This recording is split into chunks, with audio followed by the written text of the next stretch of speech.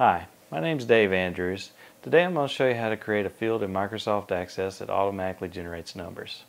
Let's go to Microsoft Access.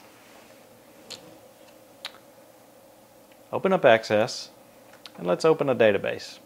Go to File, click Open, and select your database. If you receive this security warning, just click Open. Inside this database we have a single table.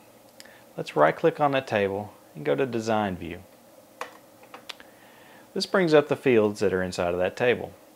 We want to add one that uh, automatically generates a number. So click in here and let's add a field. Let's call it My Number. And for the data type, select Auto Number.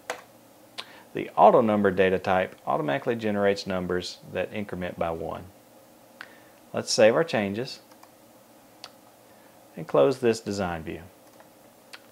Open up the table and as you can see my number has automatically been filled in with numbers 1 through 11 depending on how many rows are in this table. I'm going to insert a new row and as you can see the number 12 has been added.